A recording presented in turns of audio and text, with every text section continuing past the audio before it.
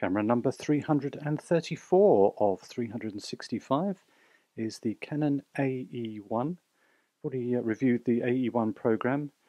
Uh, the only real difference is the fact that this doesn't have a program mode, uh, but otherwise it's uh, just as capable.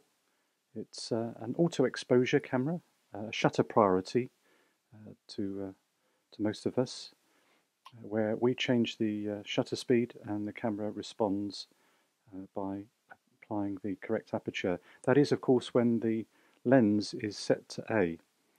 Uh, the camera can be set off A, and we can choose an, our own aperture and own shutter speed, and then we're into the realms of uh, um, all manual. But we do get an indication through the viewfinder of uh, exposure, whether we're over or under. Um, looking through the viewfinder along the right hand side here, we get uh, our aperture that's uh, been chosen uh, as a result of our selection of our shutter speed. The shutter speeds go from one thousandth, one one thousandth of a second down to bit bulb. And uh, as a, an aperture priority uh, kind of person, I found this very comfortable to use because, of course, looking through the viewfinder, I can see what aperture is being chosen in response to my selection of uh, my shutter speed. And so, as long as I'm aware that it's not too low, I can choose uh, aperture quite happily and shoot that uh, in that way. So very, very comfortable camera to use in that respect.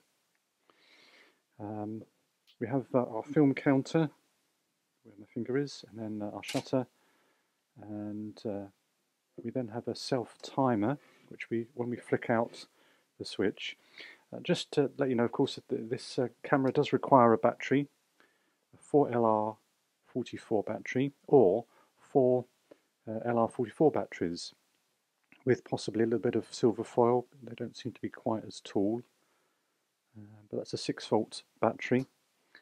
And then uh, coming back to the self timer, hopefully if that actuates, probably have to wind the film on. Nope, that doesn't want to work.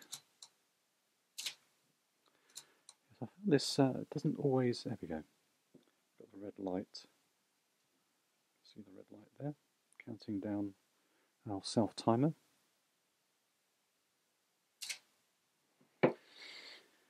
And uh, then we have also, if we slide the button here or switch, uh, then turns uh, a lock on the uh, shutter speed, uh, shutter dial, beg your pardon. Uh, we have a battery test and our rewind knob.